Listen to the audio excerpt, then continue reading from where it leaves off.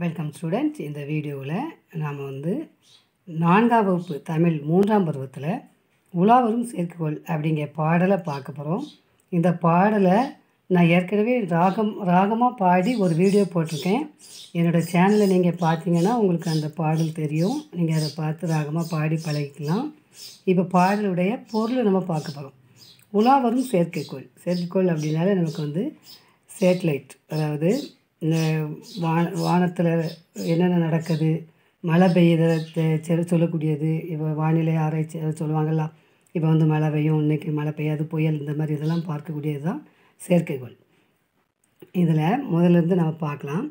பத்து குழந்தைகள் வாருங்கள் பறவை கப்பல் பாருங்கள் விட்டு சிறகை விரித்தபடி விண்ணில் பறக்குது பாருங்கள்.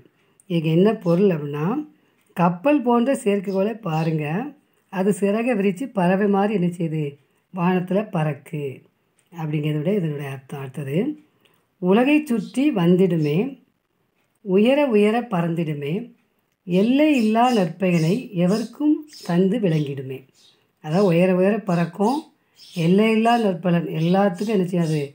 பலன் கொடுக்கக்கூடிய அளவில் நமக்கு நன்மையை அள்ளி கொடுக்கும். அடுத்தது விண்வெளி ஆய்வு செய்திடவே விண்ணில் சீறி பாய்ந்திடுமே.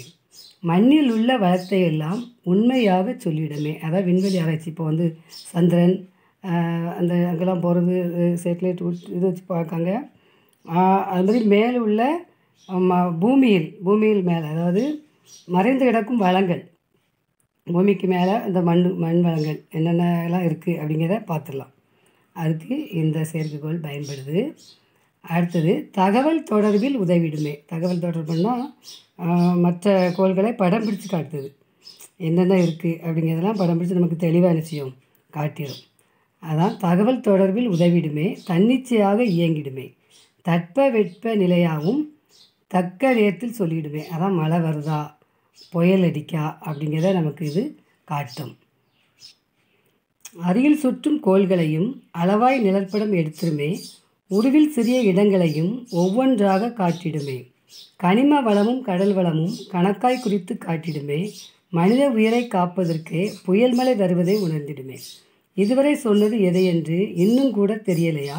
அதுதான் உலாவரும் செயற்கைக்கோள் அறிந்தே மகிழ்ச்சி கொள்வோமே. அதாவது ம மண்ணில் உள்ள வளங்களெல்லாம் பார்க்கன்னு பார்த்தோம். புயல் மழை வருவதை மனி மனிதருக்கு வந்து அறிவிக்கும். இதுதான் இதனுடைய அர்த்தம். இந்த பாடலுடைய பொருள். ஓகே ஸ்டூடெண்ட் நம்ம பாடலுக்கு பின்னாடி உள்ள பயிற்சியை பார்க்கலாமா? சரியான சொல்லை தேர்வு செய்து எழுதுவோமா? மண்ணில் உள்ள பிரித்தெழுத கிடைப்பது மண்ணில் கூட்டல் உள்ள நிழல் படம் நிழல் கூட்டல் படம். உண்மை என்ற சொல்லின் பொருள் வந்து மெய். நற்பயன் இச்சொல்லை பிரித்தெழுத கிடைப்பது நன்மை கூட்டல் பயன். அருகில் என்ற சொல்லின் எதிர்ச்சொல் தொலைவில். வினாக்களுக்கு விடையளிக்க நான் இரண்டு வினாக்களுக்கும் நான் அதில் விடை எழுதியிருக்கேன். நீங்கள் பார்த்து உங்கள் நோட்டில் எழுதி வச்சுக்கலாம் ஓகே ஸ்டூடெண்ட் பின்னாடி உள்ளதை பார்க்கலாமா? இரண்டாம் எழுத்து ஒன்று போல் அமைந்துள்ள சொற்கள் அடுத்த ஒரே ஓசையில் முடியும் சொற்கள். இதெல்லாம் நான் பாடல்லேருந்து எடுத்து எழுதியிருக்கேன். நீங்கள் உங்கள் நோ உங்கள் புக்கில் எழுதிக்கிடுங்க. அடுத்து பாடல் ஒரு பாடல் கொடுத்து அதுக்கு இடையிடையே டேஸ் போட்டிருக்காங்க. இதை நம்ம நிரப்பணும். இதை வந்து நான் நிரப்பியிருக்கேன். நீங்கள் உங்கள் அவங்க விருப்பப்படியே நிரப்பிக்கலாம் இது எப்படினாலும் நம்ம இஷ்டத்துக்கு இந்த வார்த்தையை மாற்றி போட்டுக்கலாம். ஆனால் பொருத்தமாக வரணும். அடுத்து ரெண்டு படம் கொடுத்துருக்காங்க. இந்த படத்தை நம்ம நினச்சிடலாம் அழகாக கலர் கலர் அடிக்கலாம். இப்போ கலர் பென்சில் இருந்தாலும் க்ரையான்ஸ் வச்சு அடிங்க. அவுட்லைன் வந்து ஸ்கெட்ச் வச்சு கொடுங்க. அழகாக நீங்கள் அடிக்கலாம். ஓகே ஸ்டூடெண்ட் பாடம் இதோட முடியுது. அடுத்த பாடத்தில் சந்திக்கலாமா?